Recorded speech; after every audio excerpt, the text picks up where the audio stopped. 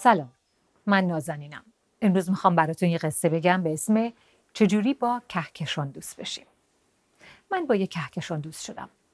اسم اسمش که کهکشان نیست. خودش به خودش میگه کهکشان. توی کلاس اسمش رو فهمیدم. زنگ تفریح رفته بود توی توالت و بیرون نمیومد. پشت در توالت صفی درست شده بود که نگو. کهکشان کل زنگ تفریح اون تو بود. شش تا از بچه ها پشت در توالت خودشونو خیس کردن.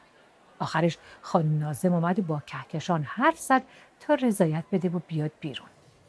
بعد معلوم شد که کل زنگ تفریح داشته هواکش توالت رو تماشا می‌کرده. کهکشان مامانش تازه اسباب کشی کرده بودن طبقه بالای ما. هیچ کدوم از همسایه ها بچه قد من نداشتن.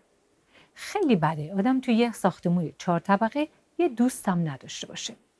برای همین به مامانم گفتم مامان یه خورده کلوچه پرتغالی میپزی بعدش بریم خونه همسایه بالایی باهاشون دوست بشم. هم کلاسیمه ها. مامانم خندید. مامان داشتن کلوچه پرتغالی میخوردن و حرف می‌زدن. به خودم گفتم میرم مثل آب خوردن باش دوست میشم. اما به این راحتی ها نبود. دختر همسایه بالایی نشسته بود جلوی ماشین لباسجویی و جیکش هم در نمیآمد. گفتم اوه اوه چه تند میچرخه لباسشویتون خوش به حالتون. خواستم یه جوری باهاش حرف بزنم دیگه.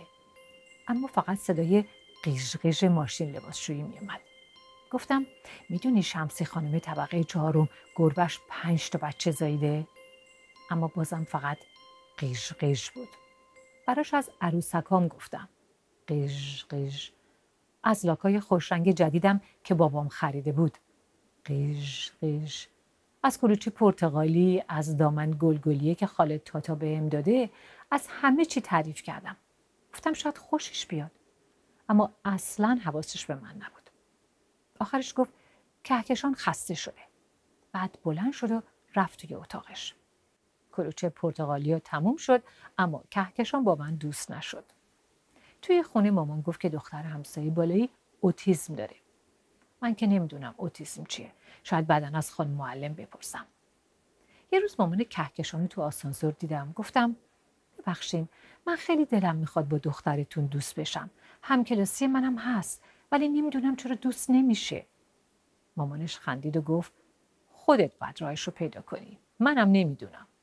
به بابام گفتم دختر همسایه با من دوست نمیشه. بابام گفت دقت کن ببین به چی علاقه داره. شاید اینطوری بتونی نزدیک بشی بهش. فرداش رفتم جلوی در خونه شد مامانش اومد. گفتم سلام. ببخشید می‌پرسم ها امروز رخت چرکاتون رو میشورین؟ مامانش خندید و گفت برای چی می‌پرسی؟ سرم و بالا گرفتم گفتم اومدم با دخترتون ماشین لباسشویی تماشا کنم.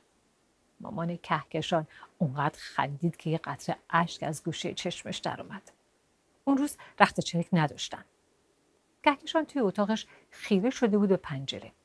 فکر کردم داره خیابون رو می‌بینه. بعد فهمیدم که داره یه مگس رو که پشت شیشه بالا پایی میره تماشا می‌کنه.